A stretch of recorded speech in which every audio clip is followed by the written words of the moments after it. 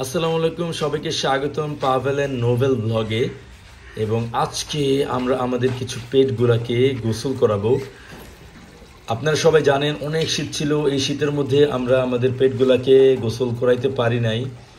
এবং আলহামদুলিল্লাহ, শীত অনেকটা কমে আসছে, রোদ উঠছে, তো আমরা ডিসাইড করেছি যে আমরা আমাদের লরিগুলোকে আজকে গোসল করানোর সুযোগ করে দিব। অ্যান্ড আমরা নিজের হাত দিয়ে ধরে তার গোসল করানো পসিবল না, তো আমরা ওদেরকে কেজে এরকম করে পানিতে দিয়ে দিয়েছি। অ্যান্ড ওরা নিজেরাই অনেক এনজয় করে মাসাল্লাহ গোসল করে নেবে, সেটা আপনারা উপভোগ করুন।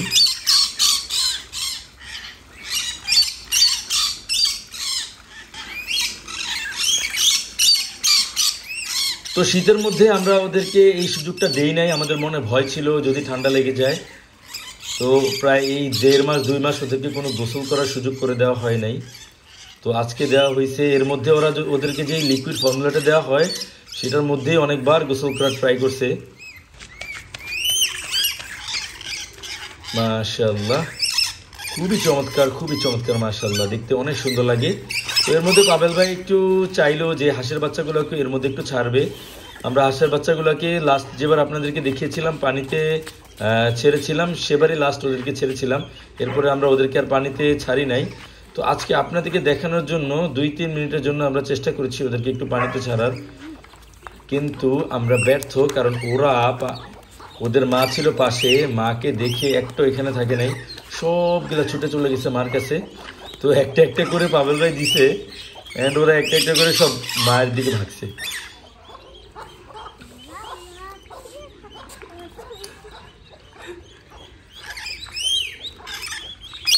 আলহামদুলিল্লাহ, হাঁসের বাচ্চাগুলো অনেক হেলদি আছে মার্শাল্লাহ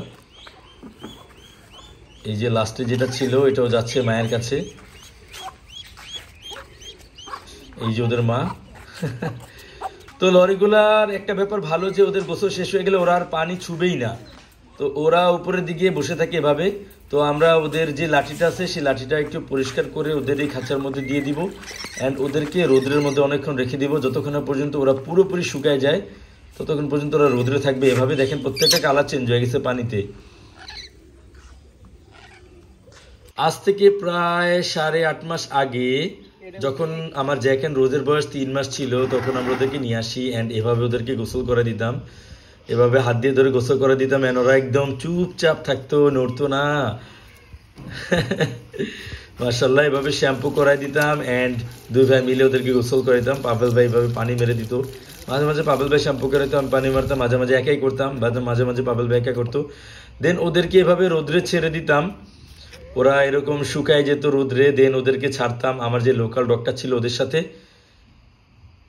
ওই ডগটা এখন আর নাই সেটার কাহিনী আরেকদিন বলব। তো আজকে আমরা ডিসাইড করেছি যে যে জ্যাক অ্যান্ড রোজকে আবার গোসল করাবো। যদি ওদেরকে প্রতি সপ্তাহে দুই দিন গোসল করানো হয় কন্টিনিউয়াসলি এই শীতের মধ্যেও থামানো হয় নাই। শীতের মধ্যেও গোসল করানো হয়েছে কারণ আলহামদুলিল্লাহ জার্মান শেপার্ড হলো শীতকালীন দেশের ডগ তো বাংলাদেশের শীত ওদেরকে মনে হয় না কাবু করতে পারে। তো এত দুষ্ট এত দুষ্ট মানে কি বলব? ছোটবেলা থেকে আমরা ওদেরকে এরকম হাতে ধরে আদর করে বড় করছি তো তো আমাদেরকে দেখলে এরকম করে। খাঁচার ভিতরে যাওয়াই যায় না, একদম মেখে ফেলে। তো ওরা এত দুষ্ট, ওদেরকে বেঁধে নিতে হয় আগে। তো ওদেরকে ওদের বেল্ট দিয়ে বেঁধে দেন প্রথমে আমরা পানি মারি ওদের গায়ে দেন আমরা শ্যাম্পু করি। আবার পানি মেরে এভাবে গোসল শেষ হয়। এর মধ্যে এত নড়াচড়া করতে থাকে বেঁধে না নিলে সম্ভব হয় না গোসল করানো। এখন আমরা শ্যাম্পু দিয়ে দিব। ডগের জন্য আলাদা শ্যাম্পু পাওয়া যায় আমরা ওগুলো ইউজ করছিলাম কিন্তু আমাদের কাছে মনে হয়েছে শুধু শুধুই টাকা নেয়। ওগুলোর দাম শুধু শুধু একটু বেশি থাকে। অ্যান্ড শুধু শুধু ওয়েস্ট অফ মানি আমাদের কাছে মনে হয়েছে কারণ আমরা ওগুলো ইউজ করছি কয়েকবার। খুব একটা মনে হয় না ডিফারেন্স আছে। তো আমরা এখন এই জন্য ওদেরকে এই যে ক্লিয়ার ম্যান শ্যাম্পু আছে, সেটাই দিই। সেটা দিয়ে ওদেরকে আমরা পরিষ্কার করি। সপ্তাহে দুই দিন গোসল করাই, দুই দিনই আমরা ওদেরকে শ্যাম্পু গায়ের শ্যাম্পু ইউজ করি। আর পাভেল ভাইয়ের গলা ভেঙে গেছিল, কণ্ঠটা একটু প্রবলেম আছে এই জন্য উনি কথা বলে না, আমাকে ভয়েস ওভার করতে হয়। অ্যান্ড আমিও বর্তমানে বাড়িতে নাই, একটু ঢাকায় আসছি, ঢাকায় বসে বসে আমি ভয়েস ওভার করি অ্যান্ড পাবলিশ করি এই জন্যই আপনারা রেগুলার ভিডিও পাচ্ছেন না। তো আশা করি ইনশাল্লাহ গ্রামে যাব অ্যান্ড রেগুলার ভিডিও আপনাদেরকে দিতে পারব। তো এভাবে ওদেরকে গোসল করানোর পরে ওদেরকে এভাবে পুরো শরীর মুছে দেওয়ার চেষ্টা করি আমরা, যতটুকু আমাদের পক্ষে সম্ভব হয়। Stop, Jack, stop. এত দুষ্ট এত লাফালাফি ঝাপাঝাপি করতে থাকি সারা দিন. অ্যান্ড অপরিচিত কেউ বাড়িতে আসলে একদম উত্তেজিত হয়ে যায় মনে হয় ছেড়ে দিলে ওদেরকে খামখামে ধরবে এরকম অবস্থা। তো জ্যাককে গোসল করানো শেষ আমরা এখন রোজকে গোসল করাবো। কিন্তু জ্যাকের জ্যাকের অ্যাক্টিভিটিস দেখেন জ্যাক অনেক ফ্রেন্ডলি কিন্তু রোজ একটু শান্ত। ছেলেরা ছেলেরা তো একটু দুষ্ট হবে তাই না? এই যে রোজ এখন রোজকে গোসল করাবো। তো এগুলো আমাদের শর্ট কোট জার্মান শেফার্ড এগুলা সাইজে এগুলো মিড সাইজ হয়। এদের সাইজ একটু মিডিয়াম হয়। আর লং কোটগুলা অনেক বড় হয় সাইজে এবার তোমার পালা। লং কোটগুলো একটু প্রবলেম আছে। এদের লোমগুলা বড় বড় হয় গায়ে অনেক গন্ধ হয়। এদের জন্য বডি স্প্রে ইউজ করতে হয় এসিতে রাখতে হয় অনেক প্রবলেম এত কিছু চিন্তা করে আমরা লং কোট নেই নাই। আমরা মিড কোট নিছি। আমাদের Rose mid coat and Jack হলো শর্ট কোট Jack, দেখেন জ্যাকের অ্যাক্টিভিটিস দেখেন জ্যাক কি করে ওরে গোসল করাইতেছি আর জ্যাক অ্যাটেনশন চায় জ্যাক আসলে অ্যাটেনশন চায়। ছোটবেলাতে গোসল করেছি। আমি যেদিন ওদেরকে ফার্স্ট আনছি, ওই দিনই সন্ধ্যার সময় ওদের দুইটাকে আমি গোসল করাই দিছি পাগলের মতো করে আমার জন্য বাট আমি তো ওই যে এখন আমার মাস্ট গোসল করতে হবে। অনেক লক্ষ্মী ওয়েলকাম তো পাইপটা দশা সাগর অলমোস্ট ডান এবার তো দাও। তো আপনারা দেখলেন যে রোজকে গোসল করানোর সময় মাসাল্লাহ রোজ একদম গায়ের সাথে লেগে থাকে অ্যান্ড একদম নড়াচড়া করে না খুব মানে ওরে গোসল করে অনেক মজা আছে।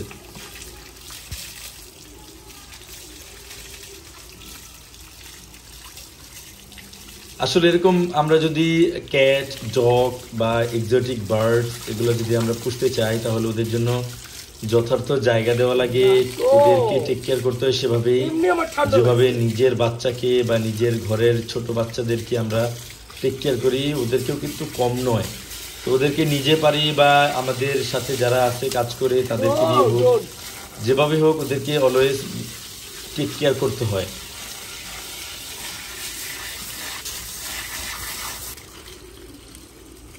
ওদেরকে যে লোকাল ডগের সাথে রাখতাম একটা প্রবলেম হয়েছিল। দেন আমরা ওদের লোকাল ডগগুলোর থেকে ওদেরকে আলাদা করে ফেলি। লোকাল ডগগুলোকে আমরা বাড়ি থেকে সরাই আরেকজনের কাছে দিয়ে আসি। সেই কাহিনী আমরা আরেকদিন বলব ইনশাল্লাহ আপনাদেরকে। তো ওদের দুজনকে গোসল করানো শেষ। এখন ওদের দড়ি খুলে দেওয়া হইল. পাবেল ভাইয়ের সাথে ওদের কিছু মুহূর্তের ভিডিও করে রাখা হয়েছে সেগুলো আপনারা দেখতে পারবেন এখন। জ্যাক অনেক ফ্রেন্ডলি জ্যাক সবচেয়ে বেশি ফ্রেন্ডলি জ্যাক আগে রোজ ফ্রেন্ডলি ছিল কিন্তু রোজ এখন একটু রিজার্ভ. একটু কম ফ্রেন্ডলি ও। আর হাঁসের বাচ্চাগুলোকেও ওদের নির্দিষ্ট জায়গায় নিয়ে যেতে হবে। এখন মাসাল্লাহ একটু বড় হয়েছে এখন ধরতে গেলে দৌড় দেয় জোরে জোরে। ওদেরকে ধরাটা একটু টাফ হয়ে যায়।